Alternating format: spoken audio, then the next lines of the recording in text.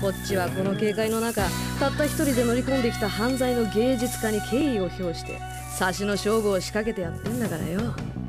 そう。優れた芸術家のほとんどは死んでから名を馳せる。お前を巨匠にしてやるよ。怪盗キッド。監獄という墓場に入れてな。